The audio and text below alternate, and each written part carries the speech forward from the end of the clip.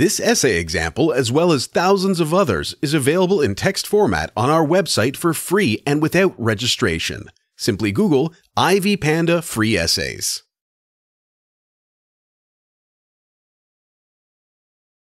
The Bhopal gas tragedy occurred on 3 December 1984 in the city of Bhopal, India. The plant had been designed to produce carbaryl chemical, used as an insecticide. The cause of the tragedy became controversial, and it provoked two distinct lines of debate. One side believed that slack management was the cause of the disaster.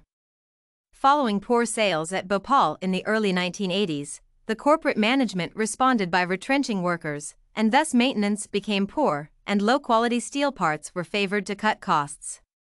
Due to accumulated decay and corrosion of pipes, water backflow into a tank containing methyl isocyanate MIC, occurred, thus causing a chemical reaction. The valves that had been designed to contain the resulting pressure had accumulated rust, which catalyzed the reaction. The contents of the tank exploded, hence flooding the city of Bhopal with a mixture of hazardous gases. In addition, following earlier leaks and even complaints from local authorities and trade unions, the company's management failed to take constructive measures to address the issues. Therefore, corporate negligence, lack of proper skills, and poor attitude toward safety were major additions to the cause of the incident.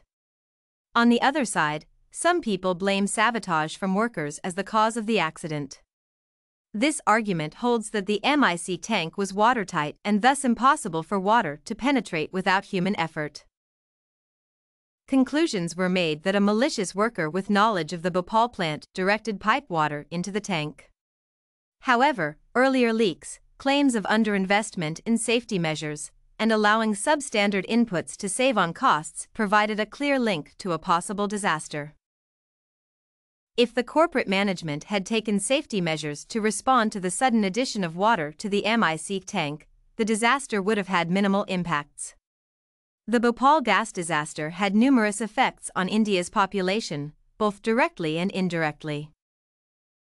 The mixture of gases that were released into the environment was inhaled by the nearby residents, most of whom succumbed to death due to choking, pulmonary difficulties, and stomach pains.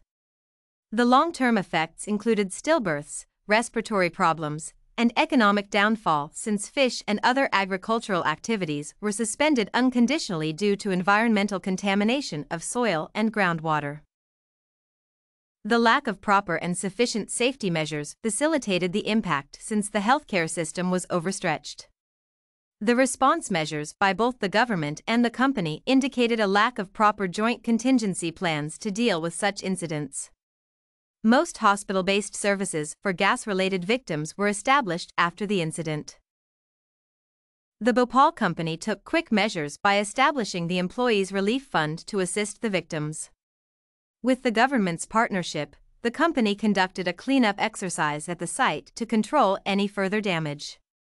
As much as the local government might have overlooked some of the crucial factors adding to the disaster, the main blame goes to the management of the company. With the knowledge of the kind of chemicals that the company was handling and the previous cases of accidents happening within the company, the management should have had constructive contingency plans to reduce the risks of such a tragedy. In conclusion, improving safety and disaster management programs and evaluating measures that assist in minimizing the impacts of such incidents can help to reduce or prevent the effects of disasters like the Bhopal tragedy. If you want to find more works like this case study on Bhopal gas tragedy, what had happened, head over to ivypanda.com. It has a collection of free samples with thousands of submissions covering virtually all academic subjects. No registration required to access it.